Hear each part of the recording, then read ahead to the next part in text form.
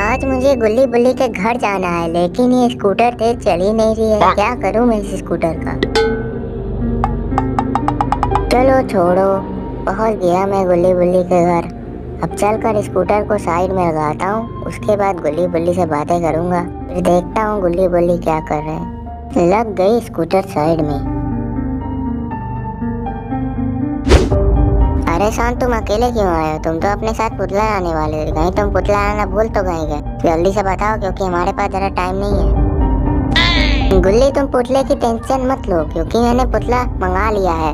और मैंने वो पुतला रॉड को लाने को दे दिया है, क्योंकि मेरी स्कूटर पर वो पुतला आ नहीं रहा था। अगर मैं फिर भी लाता तो मेरे स्कूटर का टायर फट जाता। और मुझे नया लगवाना पड़ता। रॉड वो पुतला लेकर आता ही होगा।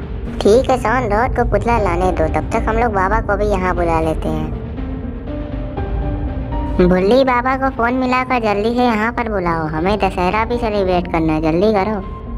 ठीक है गुल्ले, मैं अभी फ़ोन लगाता हूँ बाबा के पास। हमने सुबह ही बुलाया था। अभी तक आया ही नहीं। रुको, फ़ोन निकालने दो मुझे।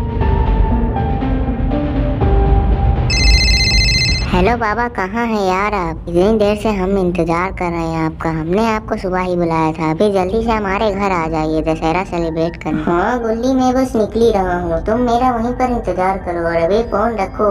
मैं बस आने ही वाला हूँ। मुझे बाइक से आने में थोड़ा सा टाइम लगेगा, इसलिए पाँच मिनट वेट करो।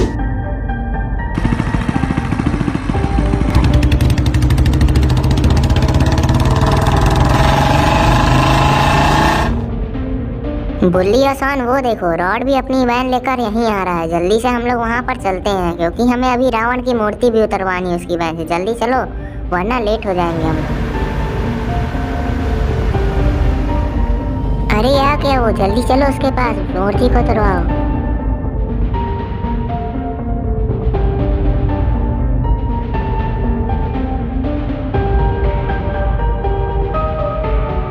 मूर्ति तो एक जगह सेट हो गई है, अब बस बाबा के आने का इंतज़ार है। पता नहीं कितनी देर से आ रहे हैं बाबा। गुल्ली और बुल्ली, वो देखो, वो रहे बाबा।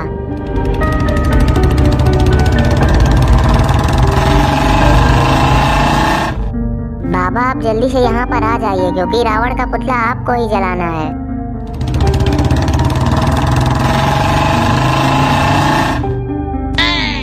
बुल्ली बोलो अब मैं रावण के पुतले को कैसे जलाऊं?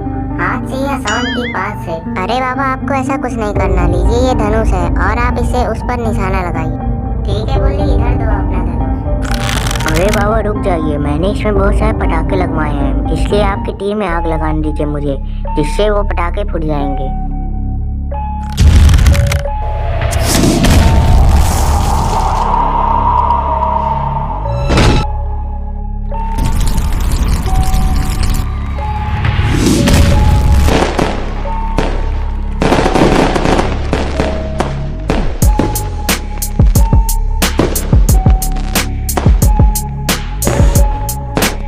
तो दोस्तों, कैसा लगा आपको हमारा दशहरा सेलिब्रेशन अगर आपको अच्छा लगा तो कमेंट में मुझे ज़रूर बताएँ और आप सबको मेरी तरफ़ से हैप्पी दशहरा।